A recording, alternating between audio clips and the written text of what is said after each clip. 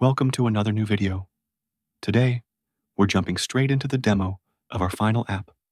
This comes after setting up Comfy UI with default WAN 2.5 template on RunPod, creating a serverless API. Before we dive in, use my RunPod referral link to grab a one-time credit from 5 bucks up to 500, and it's a cool way to support me too.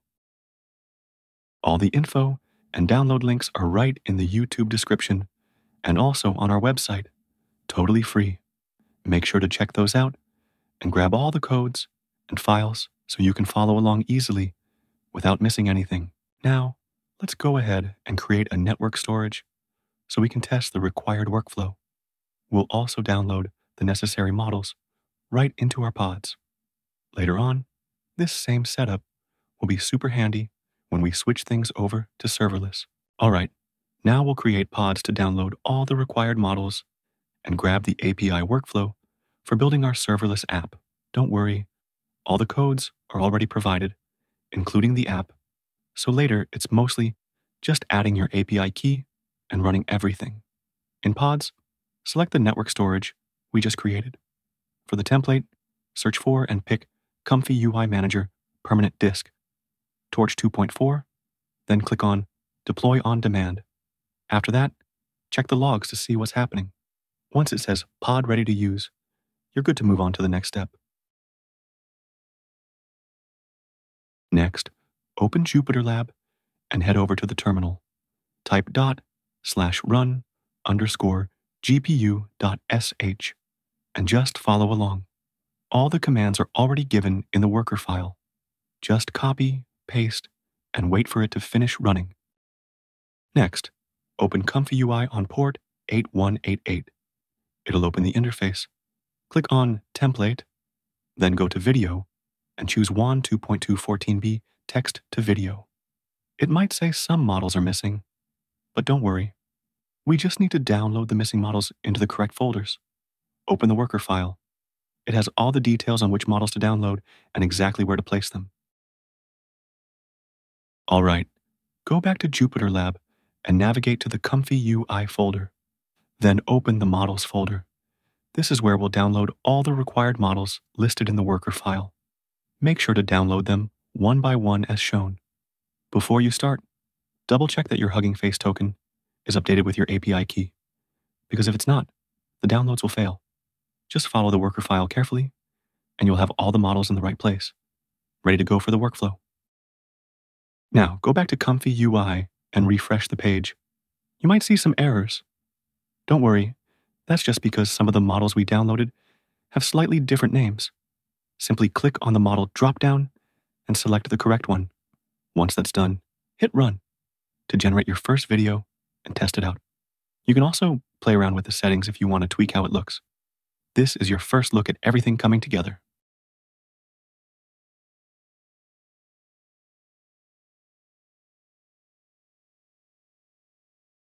Now that's done. We'd normally clear any unnecessary nodes that aren't required and download the workflow and API. But don't worry, you don't have to do that yourself because I've already done it and prepared the files for you. So you can just skip this step and move on. This saves time and keeps everything neat and ready for the next part of the setup. All right, now that we're done, we don't actually need the pods anymore. But before stopping them, we need to move the models folder from Comfy UI to the workspace. If we don't do this, the serverless setup won't have access to the models it needs. Open the helper file and copy the code provided to move the folder correctly, and move any other folders that aren't required. This keeps everything clean and ensures the serverless app will run smoothly later on. Once that's done, you're good to safely stop the pods and move to the next step. Now, Let's start setting up the serverless app. First, make sure you've uploaded the serverless file to GitHub and that RunPod is connected to your GitHub account in the settings. From the New Endpoint section, choose the correct serverless file. Then pick your GPU. Next, add your Hugging Face token in the environment variables. This is important so the endpoint can access the models. Once everything is set, just click Deploy Endpoint. Sit back for a moment while it deploys and you'll have your serverless setup ready to go.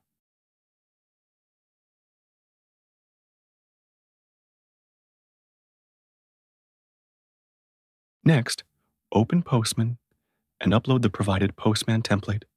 Click on the Comfy UI RunPod serverless collection, then go to the Variables tab. Here, you'll need to update two things with your correct API keys. First, the serverless ID, and second, your RunPod API key. Make sure both are entered correctly so everything can connect and run smoothly. Once that's done, you're ready to start sending requests and testing your serverless workflow.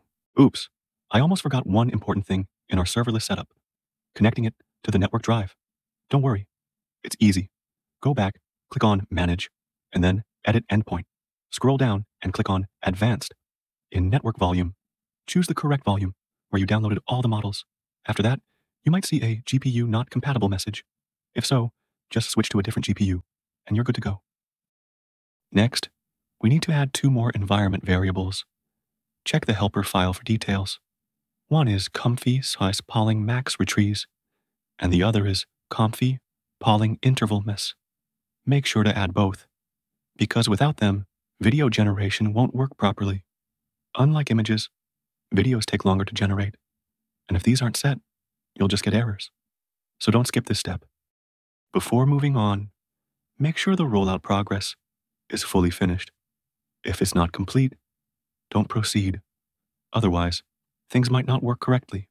All right, open the Postman we set up earlier. Then, open the provided WANAPI Postman file. Copy the code from there and paste it into the post run async section in the body. Once that's done, click Send. You'll get an ID in the response. Make sure to copy that because we'll need it for the next steps in generating your video. Next, go to the Get Status page and paste the ID you copied. Then click Send. You'll see updates showing either progress or errors. If everything's done correctly up to this point, with no missing steps or model name changes, you'll get the output in base 64. In our case, we get the output ready to use. For video generation, and based on URGPU, it can take several minutes to generate. Once you get the output, copy the base 64 code and clean it up. Open it in Notepad and make sure to keep only the base 64 content. Remove everything else. This step is important so the file can be properly decoded and used later without any issues.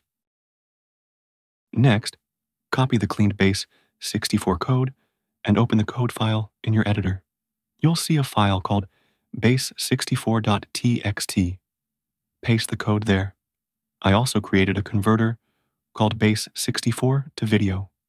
To run it, type the command python base 64 underscore to video64.txt. Once it runs, you'll see the video saved successfully. Open it, and voila, you can see your generated and converted video. This step is important because with the serverless setup, you don't get a direct video. You need to convert it from base 64 first. All right, now for the final part. We'll use our web app to test everything out. You can use this app as an example of how to integrate the serverless API for video generation and build your own projects. First, update the .env file with your API keys, just like we did in Postman. Make sure your environment is set up correctly before running the app. Next, let's run the app by typing pythonapp.py. Once it starts, open the link shown in your terminal. That'll take you straight to the web UI where you can see everything in action. All right, let's generate a video. I'm going to keep everything at the default settings, but you can totally play around with the prompt and tweak the settings however you like. Then just click on Generate. You can also go to RunPod Serverless and click on Request to check if it's working. If you don't see any requests there, that means there's an error somewhere in your setup. So double check everything. After a few minutes, depending on your GPU speed, you'll see the results just like on my screen. That means everything's working perfectly. You can even customize or improve this app further, or use it as a base to build your own video generation app. If you need any help or have suggestions for future videos, feel free to drop a comment below. I'd love to hear from you. I'm also open for work, AI or non AI, simple or complex projects, anything you can think of. You can reach me anytime through the email in the description. Thanks for watching, and I'll see you in the next one.